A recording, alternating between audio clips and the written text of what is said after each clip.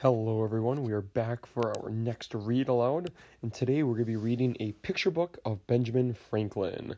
Uh, you can see, but it's it's by David A. Adler, so a an author that we've gotten to see quite often um, here during this biography unit. Um, just a, a, really strong author talking about really important people in history, um, and this one's all about Ben Franklin. Uh, this surveys the life of Benjamin Franklin, highlighting his work as an inventor and statesman. Um, an inventor, you know, just somebody who's inventing new things, and a statesman is um, somebody who's in politics, somebody who's in the government, um, holding different kinds of positions and jobs.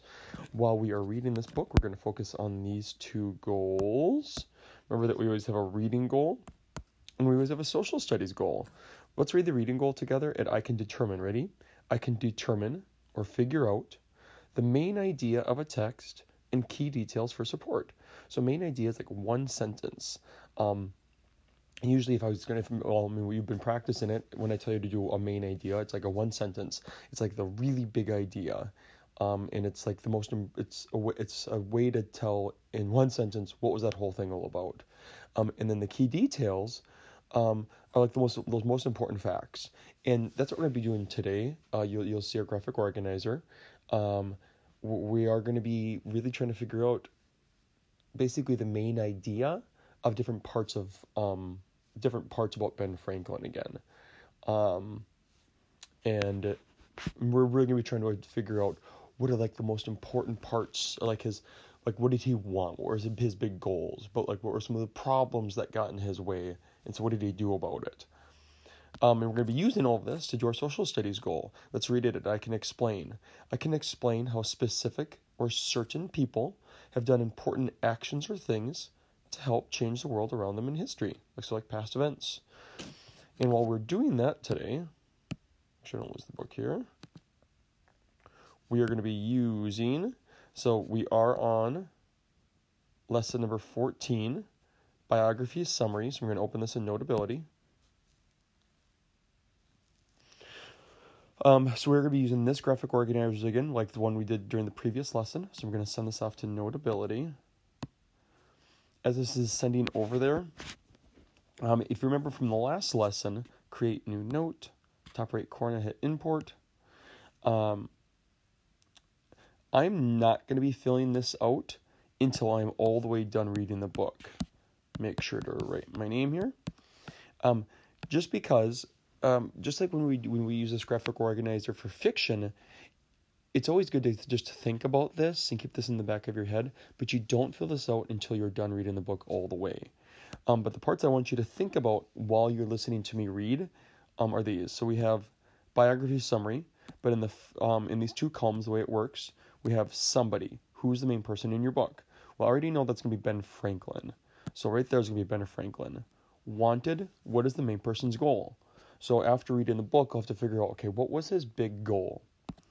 But what is the conflict or problem getting in the way of the person's goal? So that's the but. Like, but he wanted something, but. So, how did the person try to solve the problem? So, that's what he does about it. Then, what was the resolution? Kind of like what's what's kind of like the ending, especially towards the ending of his life. How did things wrap up for him?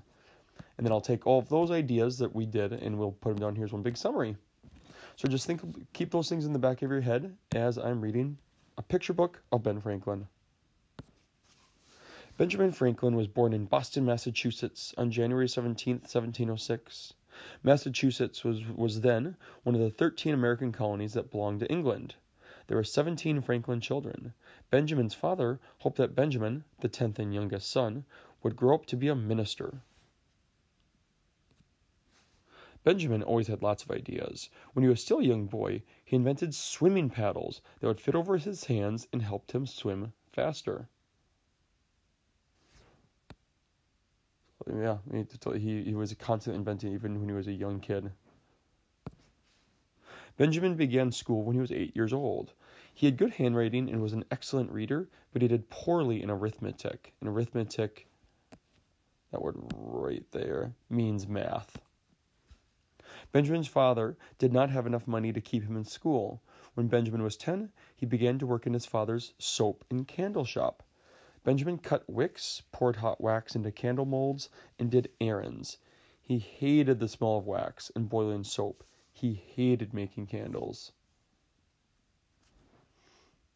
Just good illustration, just showing his face. Not super happy.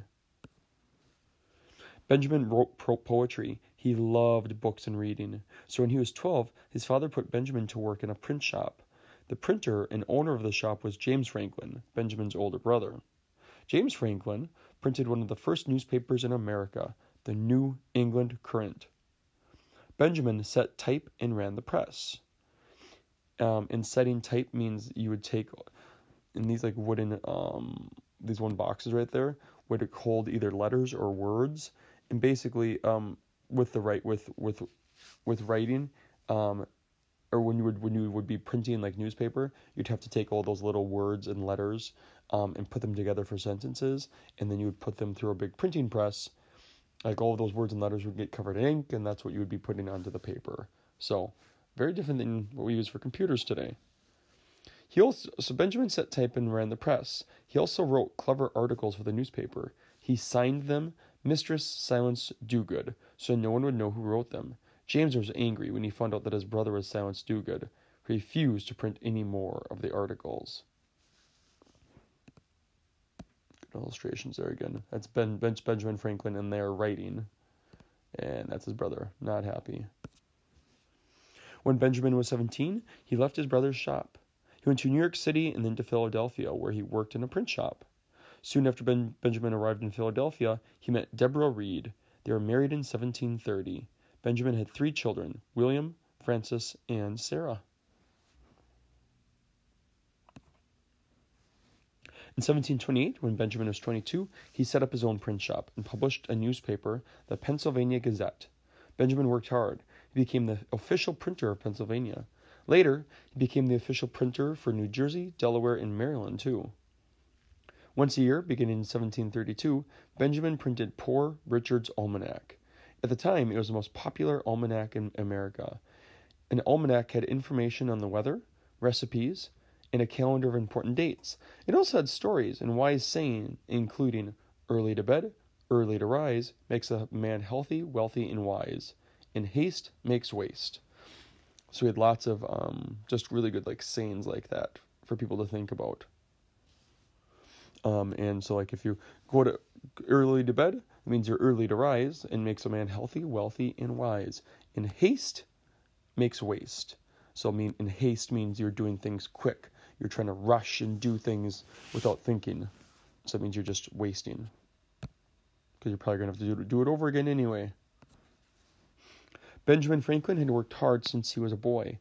By 1748, at the age of 42, he was a very rich man. He retired from the printing business. He spent his time in public service, inventing and experimenting. Benjamin Franklin helped set up Philadelphia's first fire, fire and police departments. He also helped to start the first lending library. So he he basically created the library and the first hospital in America. He also he was made postmaster of Philadelphia and later postmaster of all 13 American colonies he he also he, um he was um even though he was like helping set up Philadelphia's first fire and police departments, those were actually some of the first ones in the in our new um in America. Um he yeah, starting the library was was really cool. First a hospital in America. Um yeah, and he had a big big part in having the the post office actually get started too. Benjamin Franklin invented the Franklin stove. It saved fuel and heated a room better than a fireplace. He invented bifocal glasses. That's where um, you can have glasses that have two lenses, two different kinds of lenses in them, um, so you can see far away and close if you if you need glasses. And a long arm to reach books on high shelves, like like a grabber hook. He also invented the lightning rod that saved many homes from fires. Benjamin Franklin was very interested in electricity. In one dangerous experiment, he flew a kite in a thunderstorm. When lightning struck the kite, sparks flew down a key attached to the string. Benjamin had proved that lightning is electricity. In 1765, Benjamin went to England. He spoke at the English House of Commons against, Commons against the Stamp Act, a tax which the American colonists felt was unfair. Franklin helped to convince the English to end the tax. Um, in the Stamp Act, basically, so Benjamin Franklin is living in America, but there were still the 13 colonies. There was not the 13 states yet. And England owned those 13 colonies. And so the 13 colonies, like Pennsylvania, had to listen to England and the king. And one of the one and one of the laws they made was called the Stamp Act. Basically, everything any anytime they want people in uh, the 13 colonies wanted to buy something, there was an extra tax on it. And it had to do anything um mostly like mostly like paper goods um, especially like just buying paper and things. Um, and it was they really felt like this was very very unfair. So Benjamin remained in England for 10 years. He told the English king and his advisors to give people in the 13 colonies more rights and freedoms, but the king refused. Finally, Benjamin Franklin returned to the colonies in 1775, soon after the beginning of the American Revolution. He was at the Second Continental Congress and was chosen to help write the Declaration of Independence. Um, so the American Revolution was when the 13 colonies had a big war against England to earn their freedom. And the Declaration of Independence was basically a document telling England we want to be free. I'm Just going to check the time here of the video. Okay.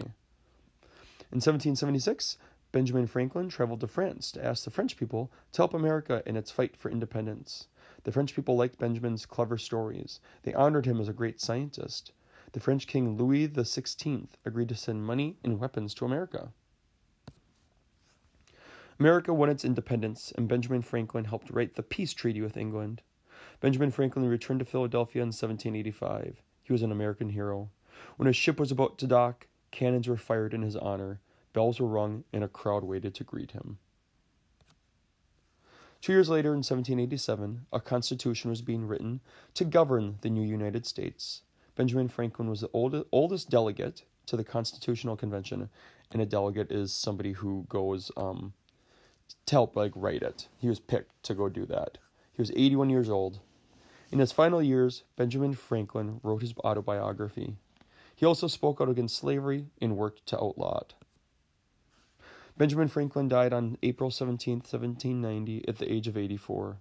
When Benjamin Franklin wrote his will, he called himself Benjamin Franklin, printer. But people all over the world knew him as more than a printer. They also knew him as a writer, scientist, inventor, and statesman. They knew him as Benjamin Franklin, great American. Let's make sure my video is not going too long here. Yeah, we're good. Okay, so um, I'm going to stop the video here quick. Um, but as when I, uh, before you start the next video, I want you to think in your head about these parts. So somebody who is the main person in your book, wanted, what is the main person's goal? But what does the conflict or problem get in the way of the person's goal? So how did the person try to solve the problem? Then what was the resolution? Okay, think about those. Um, you're gonna be checking it against mine.